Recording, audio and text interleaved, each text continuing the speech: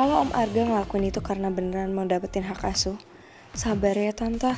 Kelihatannya Om Arga kelihatan banget gak mau kalau Tante Nabila itu merit sama Om Firman. Tapi Tante Wilda diem aja, jangan sampai nyesel aja.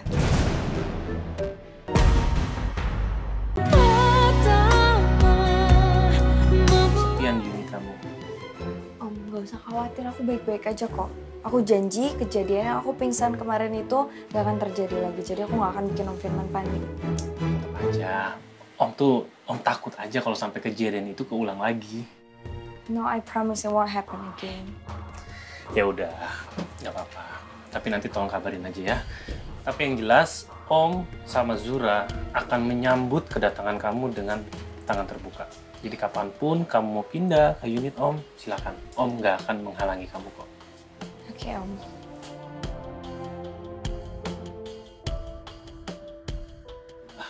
Ya udah, Om istirahat di unit Om dulu ya. Kamu juga jangan lupa langsung istirahat. Oke Om. Ya.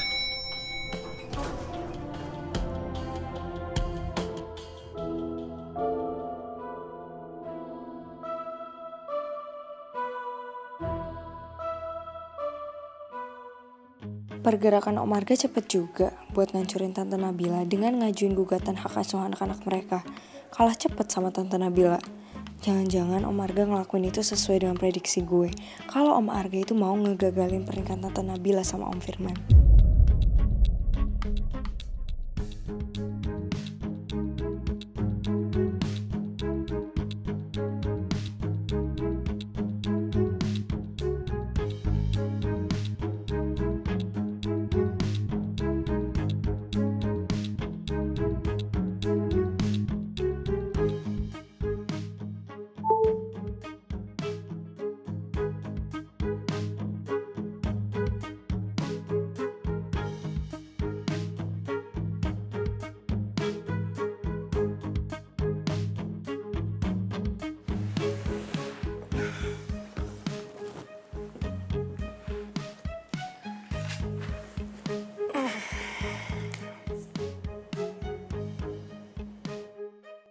Gimana persiapan sidang besok, Tante?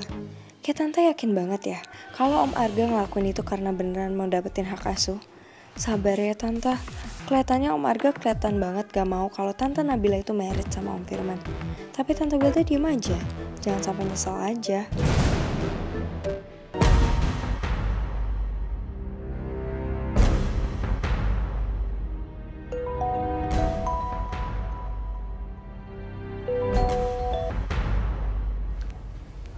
Halo? Maksud kamu chat saya gitu apa ya? Tante pasti ngerti lah maksud aku apa. Kamu ini kenapa sih? Suka banget musik hidup saya. Hah? Harusnya kamu bersyukur saya pernah kasih tahu kamu soal tatanya Raya di sekolah. Kamu cuman harus ngelakuin apa yang harus kamu lakuin. Ngapain kamu ikut campur sama rumah tangga saya? Kenapa sih? Tante ngerasa nggak ada harga dirinya ya di depan Om Arga.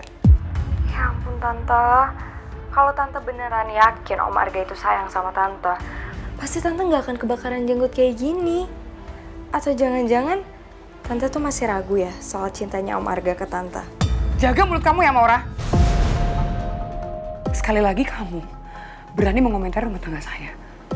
Saya nggak akan segan-segan bikin perhitungan sama kamu. Lebih dari apa yang pernah kamu rasain.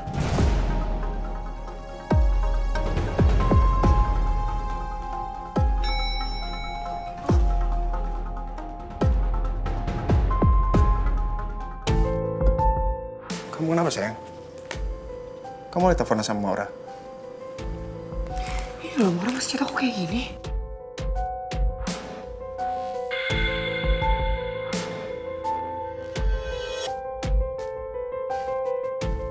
Maura bisa tahu tujuan aku gugat hak asuh anak-anak karena aku gak mau Nabila nikah sama Firman. Lama-lama Wilda bisa terpengaruh. Dan percaya sama omongan Maura, dan Wilda pasti gak akan terima. Kamu tahan emosi kamu ya. Kamu kan tahu Maura tuh keponakannya Firman. Siapa tahu disuruh Firman buat ganggu konsentrasi kita buat persidangan besok. Buktinya sekarang emosi kamu pancing kan? Please, sekarang kamu jangan dengerin orang lain. Dengerin aku aja. Aku mau ngelakuin gugatan ini. Kan Nabila tuh gak becus ngurusin anak-anak. Sekarang kita istirahat yuk. Harus bikin perhitungan sama Maura. Dia masih aja ikut campur masalah aku.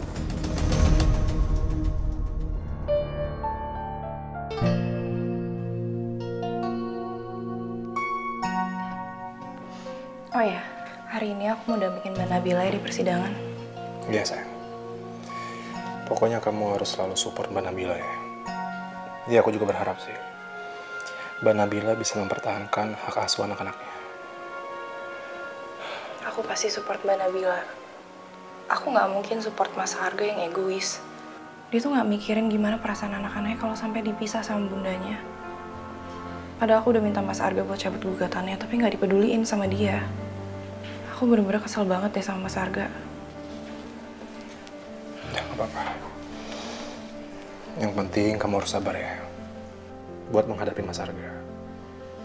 Yang terpenting kamu udah melakukan yang terbaik untuk dia. Ya walaupun dia belum bisa mengikuti permintaan kamu. Oh iya sayang, satu lagi. Sampaikan permohonan maaf aku untuk Mbak Nabila ya. Bilang sama dia kalau aku nggak bisa hadir di dalam persidangan. Iya, Mas.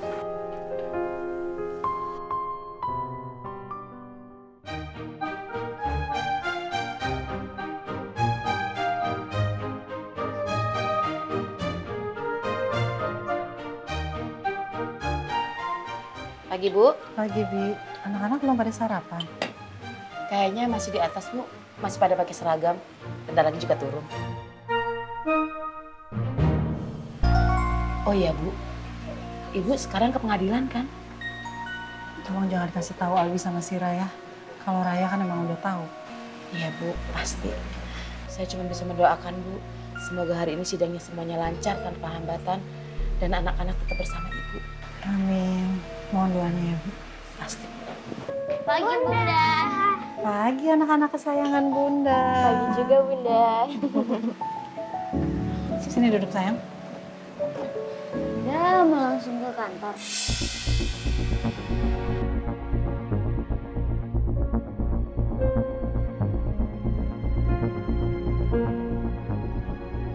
Aku terpaksa bohong sama anak-anak. Padahal aku mau ke persidangan. Iya, Bunda mau ke kantor. Bunda ambil tas dulu di kamar ya. Ya Bunda.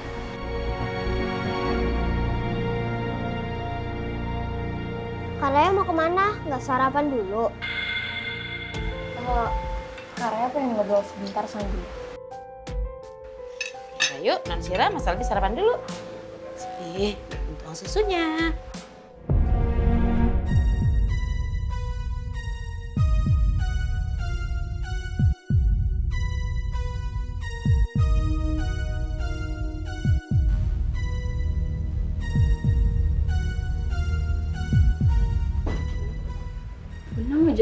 Persidangan sekarang. Iya, Rai. Doain Bunda ya. Bun, aku pasti doain Bunda supaya bisa sama-sama. Supaya Bunda juga menang. Aku nggak mau, Bun, kalau Albi sama Shira itu tinggal sama ayah dan juga Tante Wilda. Bismillah ya, Rai.